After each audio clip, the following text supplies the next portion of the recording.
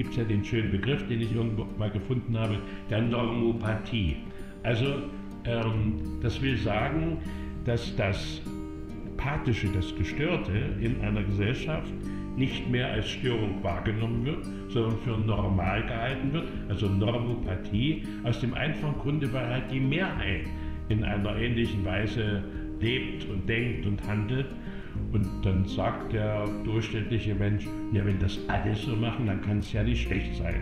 Und schließt sich wieder an, und das ist ja eines der wesentlichen Bedürfnisse, die wir haben als Menschen, als soziales Bedürfnis, unbedingt dazuzugehören.